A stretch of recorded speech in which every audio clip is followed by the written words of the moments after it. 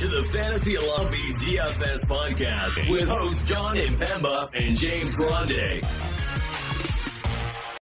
What is going on, everybody? Jon Impemba here, bringing you your MLB DFS Playbook podcast here, breaking down Monday's eight-game DraftKings main slate.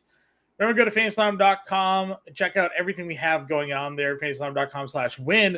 Give you access to all of our DFS content, premium content, Discord, you name it seven day free trial going on right now, and we have a 40% off our monthly cost there with our annual subscription package. So become a member of the Fantasy Alarm family today. You can also go to rtsports.com slash alarm, promo code alarm23, get a 100% deposit match up to $200 there. You can scan the QR code on the screen and take advantage of all the great offers over at rtsports.com. Uh, starting off here, we're going to go take a look at our DraftKings main slate. As I mentioned, we have eight games on the board here.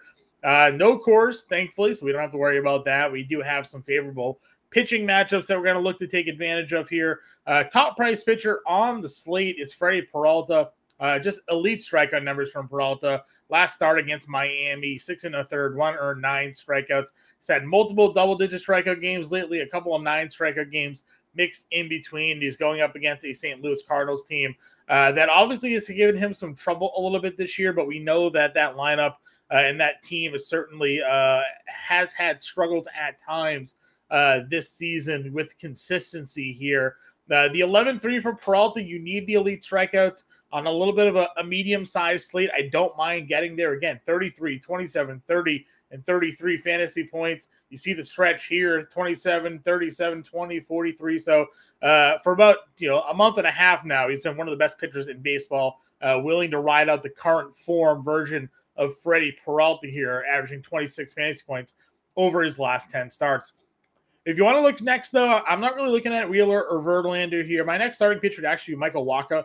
You got him at home against the Colorado Rockies. I know he's been kind of up and down lately, but you know, tough matchup against the Dodgers last time out. Philly's not exactly the easiest uh, spot for anybody here either. Um, I'm willing to give him a look. Again, we've been going at Colorado. We've even been going at Colorado in Coors.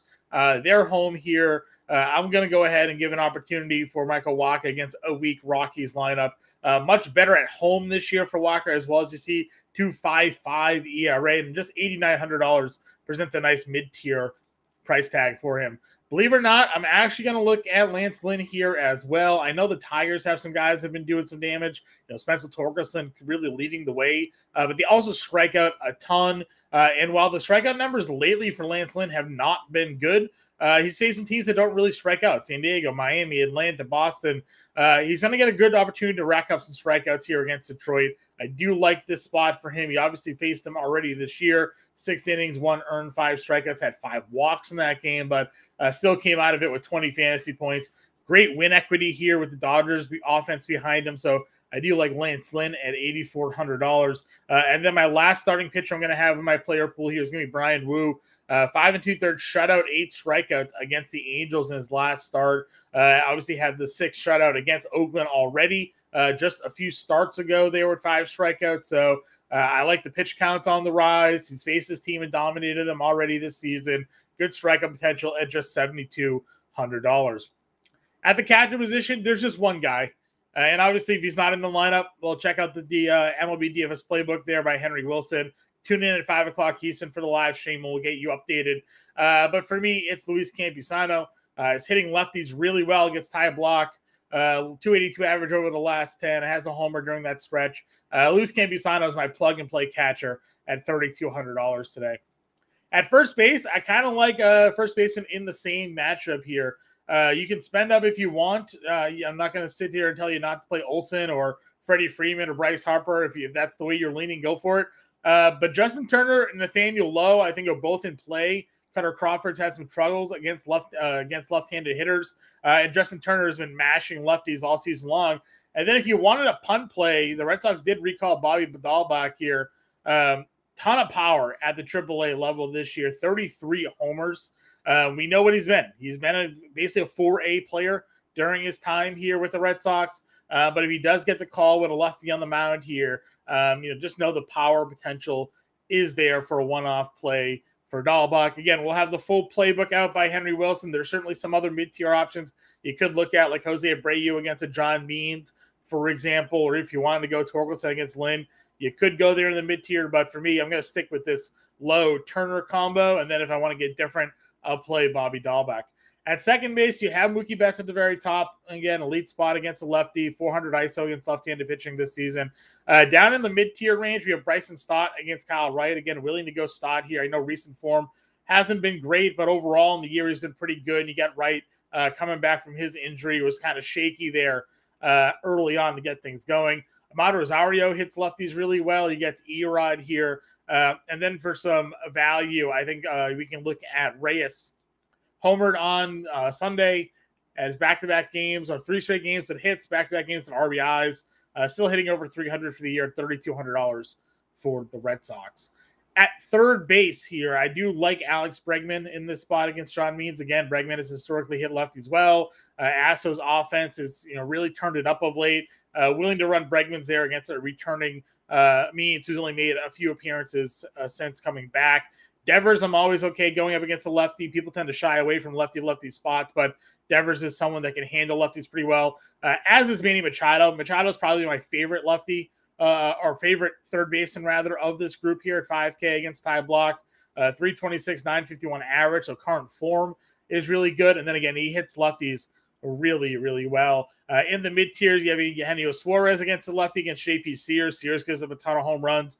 We know Suarez has the power against left handed pitching. And then for some value, uh, Kike Hernandez here against Erod again. Hits lefties well. Current form for Erod, uh, for Kike Hernandez, 300 with an 838 uh, OPS as well. Looking pretty good there. Moving on over to the shortstop position here. Uh, Corey Seager, again, Kutter Crawford struggles against lefties. Seager's averaging 11 fantasy points per game. He's been unbelievable on the year. It just doesn't stop with him. 317 average, 1,000 OPS over the last 10 with three homers during that stretch. If you can find the money to pay $6,700 uh, on this slate, it's going to be pretty appealing. Same goes for Trey Turner, 375 and 1,100 OPS, four homers over the last 10. I know it's been a little bit since he's homered, four game stretch. Uh, but I'm willing to run Turner here. He's just been unbelievable. So spending up at short certainly seems appealing. You have Machado. Xander Bogaerts is also a pretty interesting play here. He's on fire right now uh, for the Padres. And then for some value, uh, it's unfortunate that we missed out on Ceddanne Rafaela for his cheap price tags. Uh, Alex Cora and the Red Sox just weren't playing him consistently enough. That could that could change here now. Uh, but he's up to thirty five hundred dollars. I'd still be willing to run him out there at short and outfield uh, on this slate. And then Miguel Rojas, uh, a guy that maybe you've forgotten about, but against left-handed pitching this year, he's been pretty good. Uh, and on the in the last 10 games, 344 to 900 OPS during that stretch. So a little bit of a punt play for short for uh, those maybe looking to spend up for uh, you know, like Mookie Betts or somebody of that like to with with the cost is expensive and you have that cheap shortstop to plug into your lineup. At the outfield position, again, we mentioned Mookie Betts here. Uh, if Ronald Acuna plays, will be in. Julio Rodriguez is in a great spot. Both Yordan and Tucker hit lefties really well, even though they are lefties. Fernando Tatis hits lefties really well. Kyle Schwarber, we know, has a lot of power upside. So I'm not going to rule out anybody here uh, in this 5,500 and above range. For me, they're all very much uh, in play and in my player pool. When we work our way down into the mid 4K range, uh, Duvall and Ozuna, both just big power guys.